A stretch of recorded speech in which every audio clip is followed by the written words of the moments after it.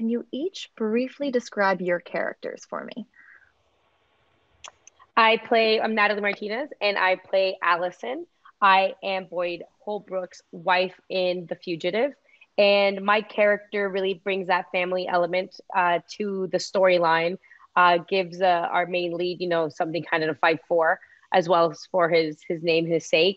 But um, you know, my character just has that strong mother instinct, wife's instinct, where she wants to protect her family. Hi, I'm Great. Genesis Rodriguez. I play Sloan.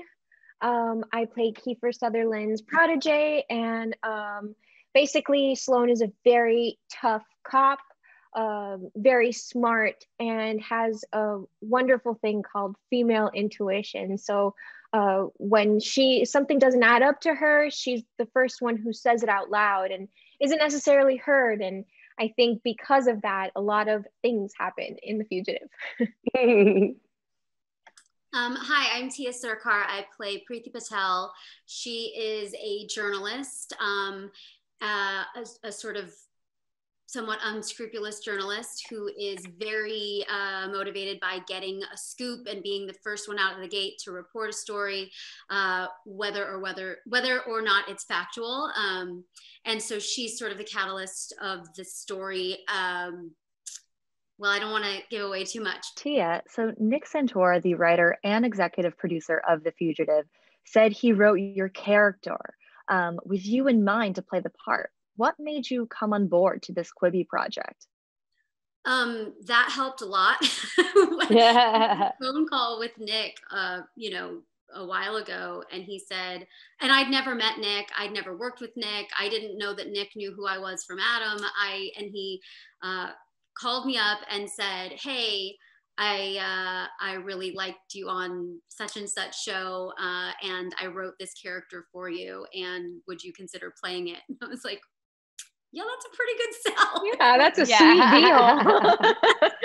um, also, it's the fugitive. Also, it's Nick Santora. Uh, also, it's Boyd and Kiefer. Like, what you know, what, what I'd be crazy not to want to be a part of it. But it was that I think that's the first time I can recall that ever happening, particularly with someone who I had never met. And so, and Nick's just the best. He's just a wonderful person to work. Such a sweet guy. For yeah, he's like good people, and it's nice. It's nice uh, to work for someone like that in this crazy Yeah. business, especially. How did you collaborate with each uh, with each other and the other actors?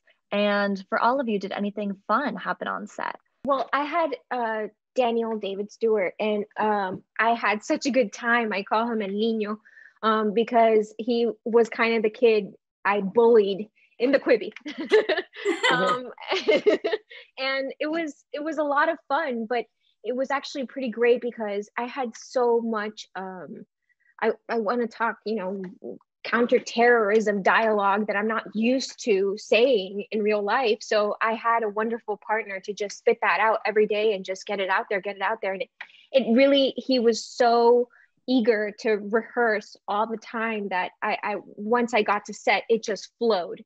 Because really, when you hold a gun, when you say these things, it has to be second nature, like you've been doing it every single day. And it's not like we necessarily had a lot of time to prep these things. So to have that camaraderie and that to have that partner on set is so great but also just to be able to see Kiefer do what he does best um, and watch him um, was wonderful because it just it just got you into the scene and it just flowed you watch you listen you learn and you just go and you really trust your instincts in that sort of character so it was great And for um, any of you, would you say anything fun happened on set while you were working on The Fugitive? I had a really good time. I was there for a few of the bombs.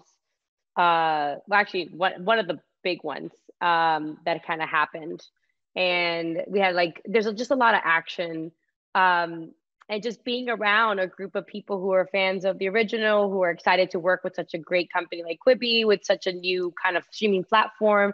I think that that whole energy really was present on set. The fact that we were doing something classic with our own take to it um, and being a part of this new streaming service that was going to bring the short kind of format uh, TV shows to you, I think was just exciting, and people were just really exciting to be a part of the process. So it just made a really good tone on set. Great to hear that. And Natalie, your character in The Fugitive is truly a force to be reckoned with.